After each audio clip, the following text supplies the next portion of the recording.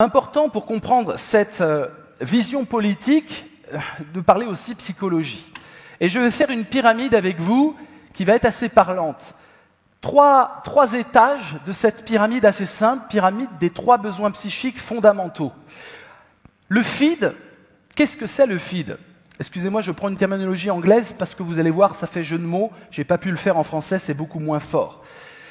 Mais c'est pas par anglophilie euh, démesurée. Le feed, c'est pas du tout nourrir l'autre, parce que là, on est dans une pyramide de Maslow où les besoins fondamentaux doivent être remplis. Là, je parle de besoins psychiques. Le feed est un besoin psychique.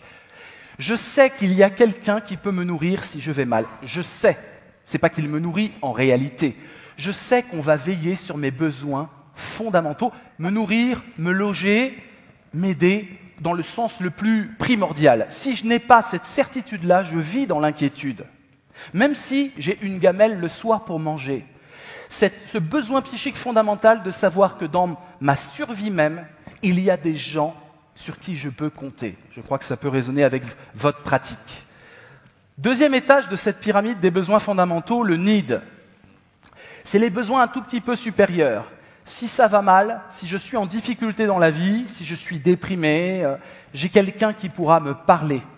J'ai quelqu'un qui pourra m'aider, m'accompagner, me faire éviter le pire, des pratiques à risque, un passage à l'acte. Donc le need, c'est pas du tout la survie au sens, euh, on va dire, euh, biologique, mais c'est je suis épaulé dans la vie. J'ai mon filet de complice dans la vie.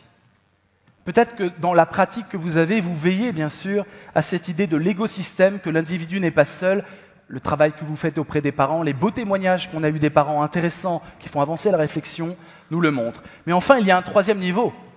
Et celui-là, on l'oublie le seed, planter sa graine, se dire que quelque chose va me survivre, se dire que en me mélangeant à l'autre dans l'amitié, un peu de moi va en l'autre, un peu de l'autre va en moi. Le seed, dans les âges notamment euh, avancés de la vie, est absolument fondamental. Je travaillais sur le grand âge récemment, et je peux vous dire que des personnes qui sont au crépuscule de leur vie et qui n'ont pas réalisé ce besoin de seed, Site qui peut même s'écrire CIDE, parce que la mort n'est pas loin.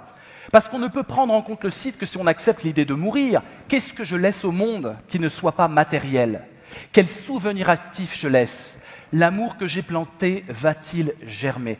Ceux qui n'ont pas ça, ceux qui n'ont pas réalisé le CID, passent de très très très vieux jours difficiles, mais surtout une absence de sens dans la vie.